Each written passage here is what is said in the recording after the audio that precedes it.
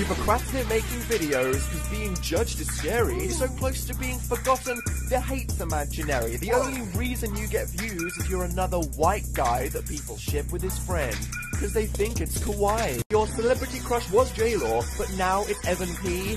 What the fuck even is your sexuality? It's hard to put you in a box when you keep it so blurry. I think it's just to hide that you're secretly a furry.